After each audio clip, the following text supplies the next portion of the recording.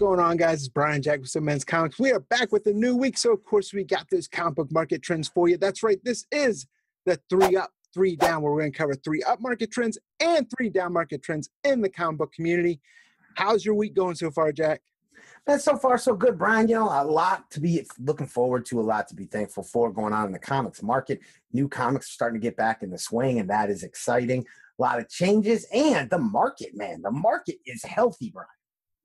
Yeah, especially when it's zeroed in on individuals. And we're going to start with that right now with that first upward trend. And we would be remiss if we didn't talk about Miles Morales. I'm telling you, if it's got that name on the front of a comic book, it is selling right now. Yeah, we are seeing spikes for everything. I mean, what's hot with Miles Morales, Brian? What's not hot? You're talking about variants, incentives blowing up to multiple hundreds of dollars right now. You're talking about the first appearance hitting five hundred dollars for free comic book day issues going crazy. It's the Comic Fest. The Comic Fest free comic issues going for like 20 something bucks. Yeah, the Halloween Fest or whatever. Yeah, yeah. It, it, it, again, it's crazy because a lot of shops probably are sitting with that in their stores still to this day. Um, and, and, that book's blowing up. We're seeing, we just talked about it with our top 10, but that all new Spider Man, the, the, the first Miles Morales kind of like solo series, Issues number one and two are blowing up on the secondary market with Miles meeting Peter Parker. We know Tim Vogt just talked about that on the Simpleman's Comics and Friends podcast that we just aired yesterday. Um, we also have all of these like Spider Gwen crossovers. People are really, really, really bullish on the idea of Miles and Gwen and their love story. So the issue where they kiss for the first time is going for like sixty dollars with that kiss cover. It's insane what's going on in the market right now. But I can't talk any negativity about it. We've said for a long time Miles Morales was this guy. It's amazing that seemingly overnight the market as a whole finally said, you know what? Yeah, he is that guy. Um, and I think a lot of it has to do with what's going on in the country. And I think that it's it's, it's we're at a point now where uh, people are are ready for this, really, really ready for this. And and I think it's a great thing, and we've already seen it play out and into the Spider Verse and animated. I think this is only going to go further and further. And we talked about Miles, but Brian, I got a feeling we're going to have Miles right back here again at, at some point in the near future. Yeah, I think you're definitely it's gonna it's in it's up. I think you might see a slight drop in it, but for the time being, if I'm buying comics, I'm not touching Miles Morales because it's too hot. I'm going to go for those other tangible characters. You've heard the rumors, talked about it before. I'm talking like Silk, even Spider Gwen's still obtainable, although it's starting to pick up again as well. But while Miles is soaring, and then you start buying stuff that other people haven't bought up yet. Absolutely. But I would caution people not to expect some market correction. I, I don't think that's going to happen. I don't think we're going to, sudden, we may see Miles dip in price a bit from the insanity of the moment, but I don't think you're going to see some major, major, major downswing because I think this is really just the market catching up to what we've already known to be the possibility. I agree. I disagree on some of it because the way some of these books are taken off, I think they are artificially inflated right now. I think that's where you're gonna see the market correction. But those those keys and the, the well known stories, yeah, definitely I think they're gonna retain their value. Well, sure, especially if you're talking about previews 95, there's definitely some inflation going on. Moving over to the next one, the up portion this week, we are talking about a person. We're not talking about a character. We are talking about an actor. We're talking about the man himself. We are talking about Keanu Reeves. Yeah, this is my head scratcher pick. I expect people to sit there and go, "What?" But Keanu Reeves, it, I really think people are not noticing that his kind of beloved state within the comics market. Um, we talk a lot about licensed properties, and we talk about the fact that a lot of times, a lot of licensed properties, a lot of comics that are based upon movies, which was all the rage in the 80s and 90s, they don't tend to take off because people don't associate that character with comics. Keanu is starting to get associated with comics, Brian. Bill and Ted, uh, the first appearance is starting to really blow up on the secondary market. Um, post, uh, you know, trailer hitting for uh, Bill and Ted 3, which has a lot of people excited. If you haven't seen the trailer, movie looks like a lot of fun. So it, we're starting to see prices go there. Keanu made a lot of news with his endorsement of the Dark Horse Comics book Bang, um, where he uh, you know, he had like a cover blurb, you know, supporting Matt Kindt's, uh, uh, you know, spy assassin type thriller. Um, and then you got to look at the John Wick series. The John Wick series, you know, that's not you're not talking about a major company producing that that series, and it really hit with, in, with not just readers but secondary market people. That was a kind of a surprise winner of like 2019, 2020. Um, and because of that, I think all of these things, I'm really noticing that, that Keanu has a comic following. And I think it's something to pay attention to because we've heard nothing but reports that he wants to get more and more involved with this business. So as that happens, whether or not he plays a character in the MCU or he gets further involved in the publishing side, I think it's something to pay attention to and be on the lookout for. Yeah, and it was also just announced today that what he's auctioning off a 15 minute Zoom call for a, ch- a children's charity. So yes, uh, definitely hot. I mean, between John Wick and everything you said right now, he had one heck of a rebound, especially with his career. Absolutely. Then the last one we're talking about for the three up portion this week is V for Vendetta. I think this is one title that's gotten some popularity, especially with the social climate and the political climate that's going on. Even though we don't we don't talk too much about politics on this channel, but no doubt I think that's having an effect on this title. Yeah, you know, it's kind of a policy. We, we, we try to stay away from politics um, and, and in turn, some of the kind of social unrest that's going on because we want to provide a safe haven for people to come here and just have fun and talk about comics. Um, and so that's kind of our goal. But sometimes we don't have a choice because of the topics and how they pertain to comics, how we talked about Miles Morales. I do agree with you that this is a lot of that. I also think that there's a company, Brian, that has a major effect on the fact that V for Vendetta number one is selling for higher than normal prices. V for Vendetta number one in a 9.8 is selling for much higher than normal prices. And they especially Warrior number one, the real first appearance of V for Vendetta, has seen incredible spikes. I think that's Netflix. Netflix has done a, a, a interesting job of finding these older movies that they think apply to the times. So when things are going on, they take V for Vendetta and they throw it in a very prime position on your Netflix app where you see it. I think a lot of people are watching V for Vendetta right now who maybe never saw the movie. And that is causing them to then get interested in the comic books. I want to talk about it because I wonder if it's a trend that we need to pay attention to going forward. We tend to think it, with the spec cycle, when a movie comes out, right? It's once it's out, the books are dead, right? All books related to that movie are dead. But I think this especially applies to independent comics, not so much big two. Even though I know that V for Vendetta is a DC book, it's very much an independent creator owned style book. Um, I, I wonder if some of these films that maybe don't hit the way we hope will then get second life on a streaming service. And I think what V for Vendetta has proven is that a, a movie that's not new by any stretch of the imagination can cause books on the secondary market to sell because it's just undoubtable if you go do any sort of research that you are going to see an increased interest in V for Vendetta over where that where that property and that character and that and that book and and even especially Warrior Number One, which is already a tough to find book. Um, the, the interest has definitely definitely gone up and i just cannot believe that that is a coincidence from the fact that if i open up my netflix app one of the very first entries i'm going to see over the last week has been v for vendetta I see, nailed it. my kids love watching that show, so it's always showing up. Mine too, actually. so there's a three up for this week. Again, let us know in the comments. What do you guys think's hot? What do you think's cold? What do you think about the ones we have up here for that three up portion? Let us know in the comments, and we'll be sure to feature those in next week's video. But with that being said, we're going to shift right now over into the downward portion. And what's down right now? We are talking DC incentive variants. Yeah, now again, this is, I could say DC in general, to be honest with you.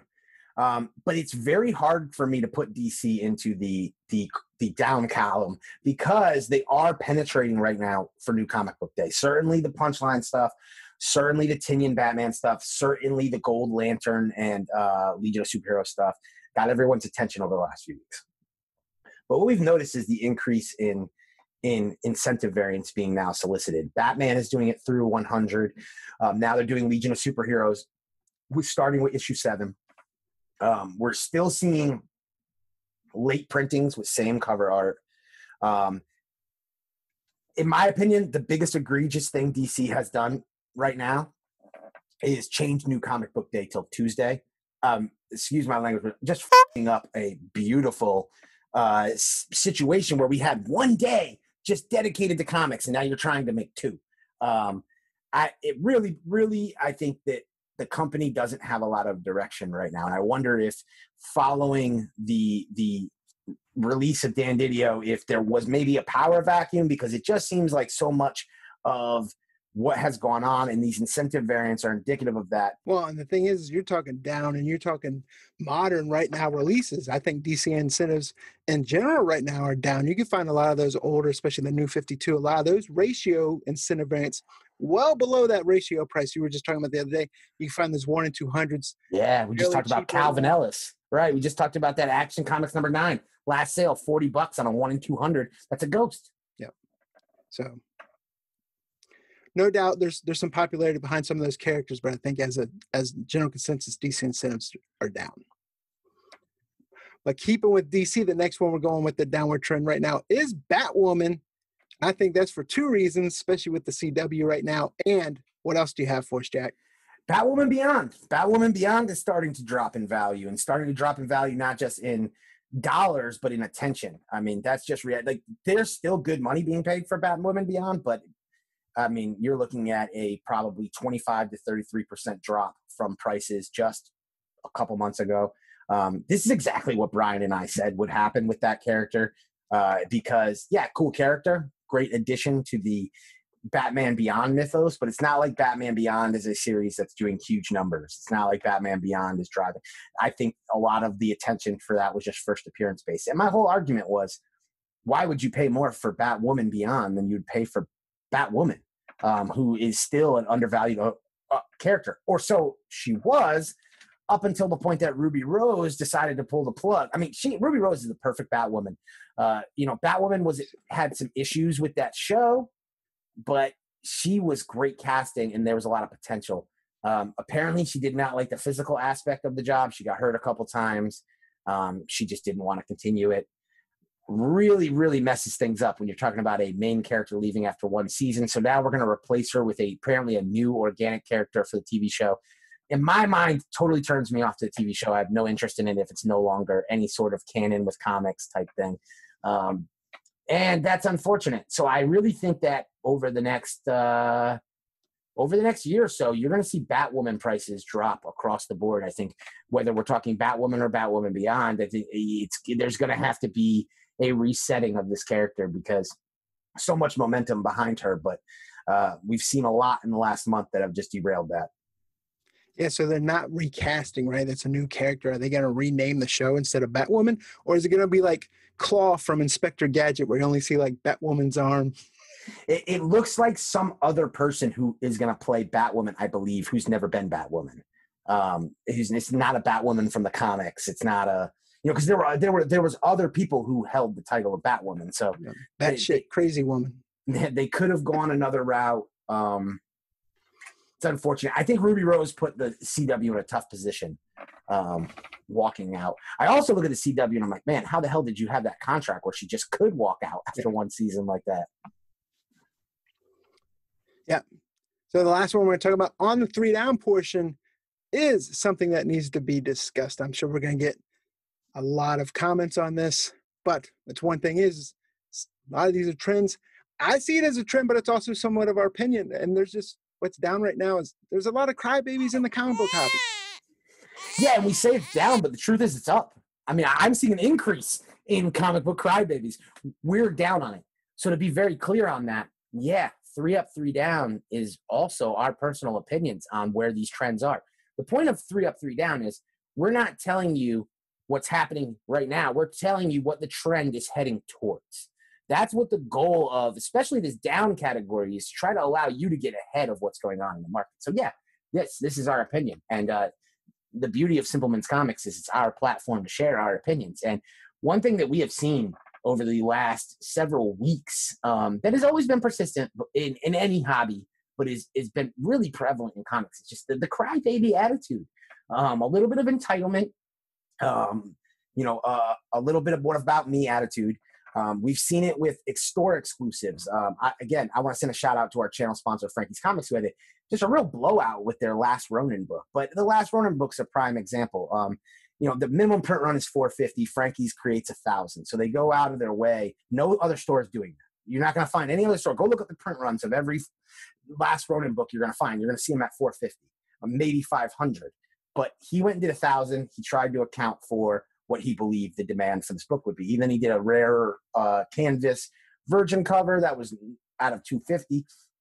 He put them available as he does all of his books available early for the Facebook group. That has been advertised on this channel and everywhere else um, that he advertises. And the book sold out instant. It was an instant sellout. It was like a sneaker or, um, you know, when some of these rare Comic Con variants become available, you know, immediate sellout. And people started crying who didn't get their book. And that's not an isolated incident, Brian. We're seeing that type of mentality consistently. Yeah, some people think there should be enough print run for anyone that wants one. Right. And all that does is cause a print on demand system that allows no book to be valuable. The reason you want that book, as much as you want to say that you love the art, I don't believe there's that many people who are so emotionally attached to Peach Momoko art. The reality is they want it because of the value attached to it. So you want it because of what it's worth, but it's only worth what it's worth yeah. because you want it and you're struggling to get it. That's what makes books valuable. That's supply and demand. We talked about supply and demand, people's not understanding of supply and demand. Um, I said I saw somebody talk about Ultimate Fallout today in a Facebook group where somebody was talking junk about the print run. And they said, I'd rather have a book that's printed 73,000 that half a million people want than a book that's printed to 500 that only 300 people want. And that's what we were talking about last week.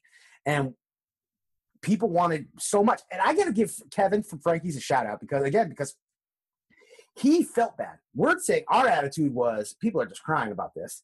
So what he did was he printed up another version of the variant featuring the trade dress. He put that up for sale, and even that sold out. And he didn't have to do that. He did that as trying to appease these people who who felt like they had been left out. Um, and I just think that we're getting to a point with it within this hobby where we all have to look at whether it's exclusive variants. This isn't about exclusive variants or Frankie's even. Um, just in in general, we see a, a, lot of a lot of this goes on whether or not it's um, within like the content creation community. We see people who are like, I created this or I did this first, and you do this, and you're doing this, and we've talked about some of the blocking and just the attitudes that people tend to have where if things aren't going exactly their way they want to vent and they want to cry and they want to complain. And social media is a great tool for that. But that negativity is not helping the comics industry nor is it helping yourself. Information is key right? It's, it's the key to everything we do. The, instead of sitting there looking at themselves in the mirror and saying man i, I missed out on this um, I, I, need to be more prepared in the future i need to join the facebook group i need to know what the code is um, I need to make sure I'm getting my free shipping that you also get from the Facebook group. You know, things like that. Instead of taking that attitude, we started getting hit with DMs um, and, and, complaints and stuff like that. And it's it's really disheartening to see people you like. Um, and that I even had friends hit me up um, just crying, and I told them, just like I'm sitting on the mic, I had one of my very good friends hit me up, and I told him, I said, "You're being a crybaby." I said, "You you just didn't get something you wanted, and now you feel like somebody else is doing something fair." And I just think that as as a community, we've got we've got to be better at that. We've also got to stop, you know, making our own judgments on what other people do. So like I've seen that we got some of this this week, and I know other YouTubers have gotten it, but like sponsorship deals. Sponsorship deals are how we support the channel. It's how we we we are able to do the things that we're do. That was how we're able to build some of the projects. It's how I paid for the camera that I'm looking in right now. Is through sponsorships, through through Patreon, through these tools. I know people don't may say like, oh, we get that comment. It looks like an advertisement. It's like, come on, man. Like we go out of our way. I don't feel like our content looks like an advertisement. Um, I think there's other YouTubers who get that flack who I don't think their advertisement, their their content looks like an advertisement. Um, I think it's difficult because you, you know who is somebody else to talk about how another person is making their money. I would never do that to somebody else. But that's the kind of entitlement and kind of crybaby attitude we're seeing in, in the comics market. That's just unfortunate. So, um, I, you know, if you take part in that, I, I would hope that people look in the mirror and, and start kind of realizing yeah, and I think everyone's entitled to their own opinion. I mean, if you if that's how you feel, that's how you feel. But we're also entitled to our opinion, and I think we do everything we can to provide the content, the information, and the value from the channel. Yeah. And then taking in those sponsors to help grow the channel, promote the channel. And the sponsors we've said before, we just don't take on sponsors to have sponsors. It's people that we feel align with the same vision that we have for this channel. We love Frankie's Comics. We loved them before that. So if you say there's a bias for it, I guess you could say, yeah, you're right. There is a bias for it, but we're also promoting it because that's how sponsorship sponsorship works. Yeah, and I can I can sleep at night seeing the success that they're having and the in the impact they're having on the secondary market. So I'm, I'm not selling I'm not selling you or advertising you a product that we don't believe in, and that that's where that integrity and community come in. We're providing information to our community, and we're doing it with the utmost integrity. Um, but yeah, we're not going to apologize for making sponsorship deals or or or business deals or getting involved in different things because you know that's how we're able to bring you guys five pieces of original content a week, which I, I don't see a lot of YouTube shows doing, and, and the, the, the, the production quality that is being put into that, you know, to be compensated for that time. And we're not putting it behind a paywall, which is an option that a lot of content creators do. But there's a three up, three down for this week, guys. We're going to put comments on the screen right now from last week's episode. So make sure you comment on this week's. Again, let us know what did you think of the list? What do you think's up, right down? What do you think's down? And with that being said, this is Brian and Jack from Simpleman's Comics. We'll see you guys in the next video.